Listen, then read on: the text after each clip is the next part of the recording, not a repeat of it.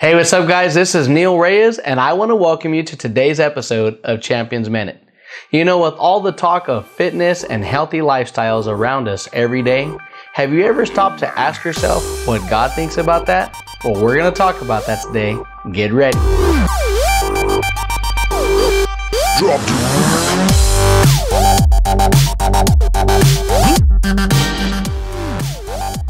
Today's topic that we're going to be discussing is called Got Fit. Again, today's topic we're discussing is called Got Fit.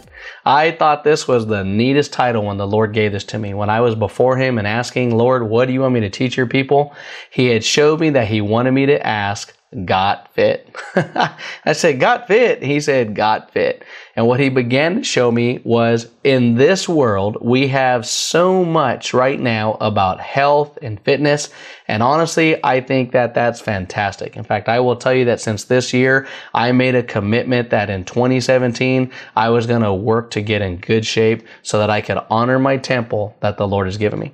It wasn't a New Year's resolution. It was a goal that I set before myself to commit myself to making healthier lifestyle choices in the manners in which I eat and how I exercise so that I can be around to enjoy the things God has blessed me with, to fulfill the calling He's given me, and to be around for my family so that they can enjoy hanging out with dad and doing the things we need.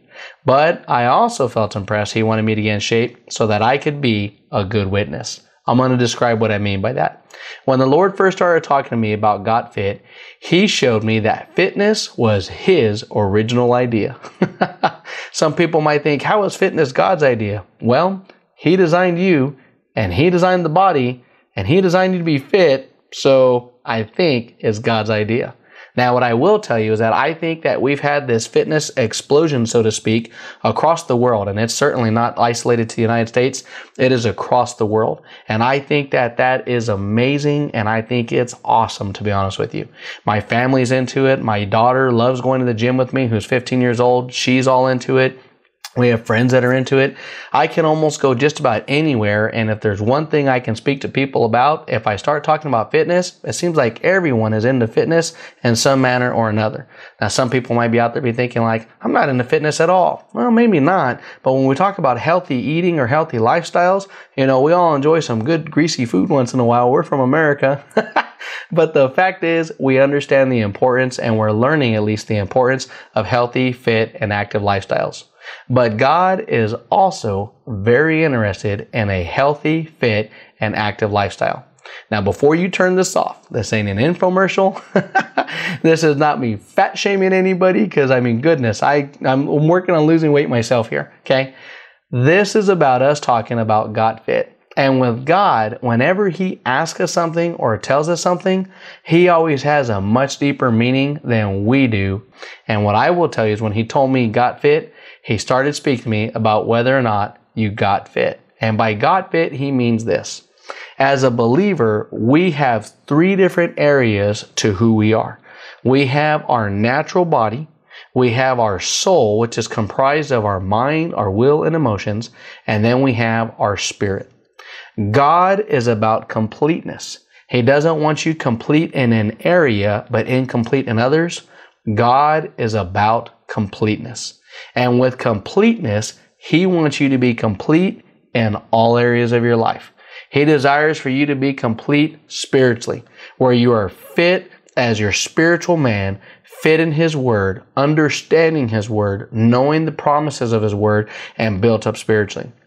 He wants you fit in your soul. Your soul's your mind, your will, and your emotions. In other words, He wants you to have a healthy and fit thought process. He wants you to have a healthy and fit process of your will, which is how you make choices. And He wants you to have a, a healthy um, uh, emotional set, which is your emotional life. And with that, he also wants you to have a healthy and fit body, which is your temple that he's spoken to us about. So when I speak about this, I'm not necessarily targeting just your spirit or just your soul or just your body, but I am talking about the complete man. And in order to do so, I want to take you to a scripture and read it to you. This is going to be out of 1 Thessalonians chapter 5 and we're starting at verse 23. Ready? Read. Now may the God of peace himself sanctify you completely, and may your whole spirit, soul, and body be preserved blameless at the coming of our Lord Jesus Christ. When it talks about being found blameless before God, blameless means that we're able to go before God and have a clear conscience before Him. But that means in three different areas. He just told us in this verse that you're to be blameless in your spirit, your soul, and your body. It doesn't do a believer good to go before God and say, God, I am clean spiritually, but I am way out of shape and I lived a lifestyle that led me to an early death and I'm here before you way before I was supposed to. No, that's not what we're supposed to do. Again, I'm not fat shaming. I'm not jumping on anybody. If I feels like I'm stepping on your fitness lifestyle or your health lifestyle, I'm not doing that. But let me explain to you the importance of this. When people live unhealthy lifestyles in any three of those areas, not just physically, in any three of those areas, they run the risk of shortening their life. And if they shorten their life and don't live out their full measure of days as God intended, how many people are going to be counting on you on the other side of that obedience who needed to hear the instruction you had for them that you learned through life, but you can't give it to them because you're gone? I will tell you that I've met people, especially females, who their fathers have gone on and passed and they're now no longer on this earth anymore. And they have encountered times where they really needed some advice and their father is who they wanted to go to. But they couldn't because their father wasn't around. Now, that doesn't necessarily mean that the father lived an unhealthy lifestyle and they were gone too early. That's not at all what that means. I'm simply giving that as an example of what it means to have people who need you around, who need the advice you can share with them and the advice you can give them. If you have that ability to control that, then why don't we? I know that me, as a believer, I want to stand blameless before the Lord. And if the only person that this message t- reaches or teaches is me, then I'm okay with that. Because when God gave me this word, He shared it with me. And as He shared it with me, I knew it spoke to me before it spoke to anyone else. As we get quiet and get still and get before God and listen to His voice, He'll give us the instructions that we need for life. Whether we choose to follow it or not is a different situation. But whether we can hear God in the first place is up to us. We've got to get quiet before Him and we need to become obedient to hear and do His word once we hear it. You can't just be a hearer of the word, you must be a doer also. Remember, someone is always waiting on the other side of your obedience.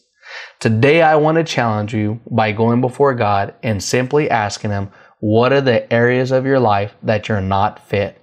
And wherever you're not fit, then ask Him to help grow you in those areas. I believe you'll find this as something that grows as a desire of your heart, as it has with me, as something that you'll be excited and encouraged about. And it won't just be a life of discipline, but that discipline will soon turn into a happiness that you are so excited about the things you're seeing God do in your life and the new ways that He's moving in you. It could be that fit, physically fit, you're ahead of everybody, that you're way ahead of all of us. But it could be that maybe you need some work in the spiritual realm. Or it could be that spiritually you're very fit and you're physically fit, but your emotions really need some work. You're still carrying along some baggage from the past of some hurts. Maybe you're still making some bad choices, you know. Maybe your thoughts are all over the place on things they shouldn't be. So maybe you need to work on your soul. Or maybe you're the person that's spiritually fit and you're healthy in the soul, but the body needs a little work. Guys, I hope you found this teaching encouraging. As always, we want to recommend and, and, invite you to check out our website at nealreyes.com where you can check out all of our past teachings. In addition, you can follow us on social media at YouTube or Facebook at Neal Reyes Ministries, or you can find us on Twitter at Neal underscore Reyes. We want to remind you that Jesus is Lord and He loves you, and so do we. Thank you, and have a blessed day.